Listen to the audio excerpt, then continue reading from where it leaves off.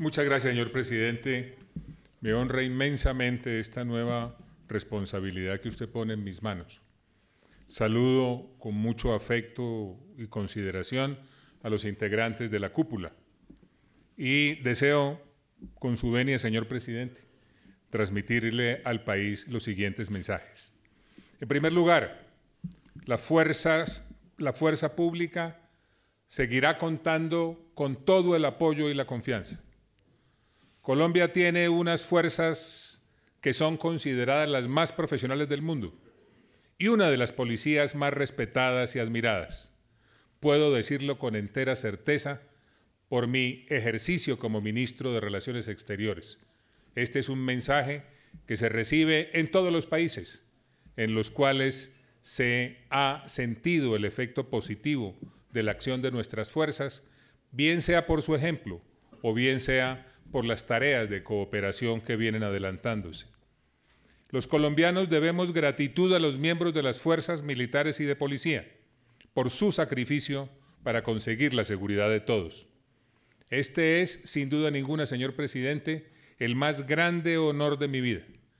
Y asumo este desafío con decisión, lo asumo con responsabilidad, lo asumo convencido de que en la seguridad de los ciudadanos está la base de estabilidad y de progreso para el país. En segundo lugar, quiero decir, señor presidente, que según sus instrucciones vamos a seguir trabajando en el bienestar de las mujeres y hombres que integran la fuerza pública. En este sentido, vamos a fortalecer el sistema de atención en salud para ofrecer más y mejor salud a los integrantes de las fuerzas militares y la Policía Nacional. Y por supuesto, vamos a poner en marcha la ley del veterano. Esa iniciativa que usted le planteó, señor presidente, a los colombianos desde su época como candidato presidencial y que ahora se ha convertido en ley de la República y debe implementarse a la mayor brevedad. En tercer lugar, vamos a trabajar incansablemente por el mejoramiento de la seguridad ciudadana y la convivencia. Los resultados de los 15 meses de gobierno muestran resultados positivos, pero tenemos que buscar más y mejores resultados. Necesitamos reducir más los delitos, en especial el hurto, el homicidio y la extorsión.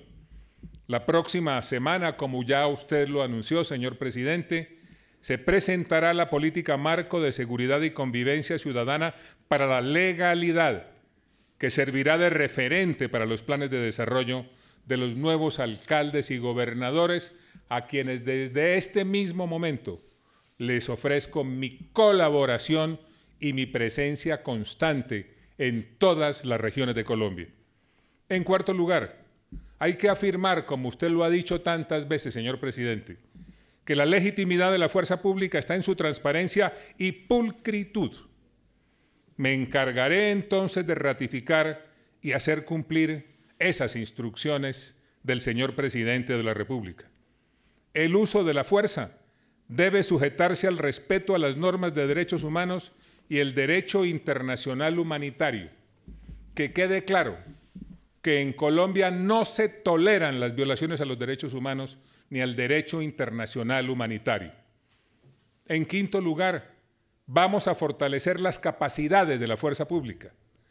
Trabajaré entonces por fortalecer la capacidad de las fuerzas militares para defender la independencia, la soberanía y la integridad del territorio nacional. Vamos a fortalecer el pie de fuerza de la policía y el control de las calles. Y vamos a continuar actuando en búsqueda de objetivos de alto valor. Vamos a desarticular las redes de valor de las economías ilícitas y de las cabezas de los grupos armados organizados.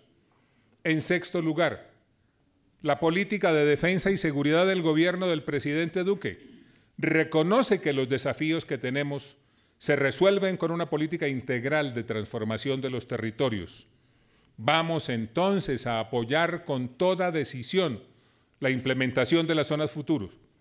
Con esa estrategia, bueno es decirlo, el gobierno del presidente Duque apuesta a la transformación de los territorios para lograr la disrupción de las economías lícitas y garantizar el ejercicio de los derechos ciudadanos. En séptimo lugar, la protección de los líderes sociales y las comunidades indígenas seguirá siendo prioritaria. Esa prioridad se dirigirá a dicha protección del mismo modo que se aplicará naturalmente en otras zonas hoy afectadas por la violencia inaceptable para todos los colombianos de bien. En octavo lugar, vamos a profundizar la lucha contra el narcotráfico. El narcotráfico es el motor de la violencia en Colombia. Vamos, por lo tanto, a seguir avanzando en la erradicación de cultivos ilícitos. Continuaremos liderando la lucha contra las drogas, trabajando con los países del hemisferio a través de operaciones como Orión y la articulación con las policías del continente.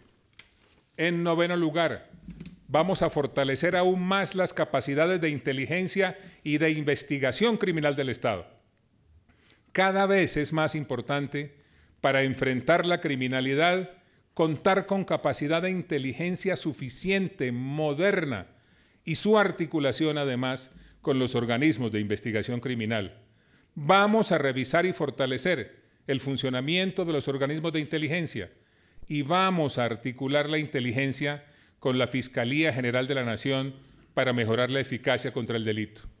En décimo lugar, vamos a seguir desarrollando la diplomacia para la defensa y profundizando las alianzas con países amigos en búsqueda de garantizar tranquilidad, paz y sosiego regional e internacional. Estas son las tareas a las cuales dedicaré mis esfuerzos, señor presidente, siguiendo sus instrucciones.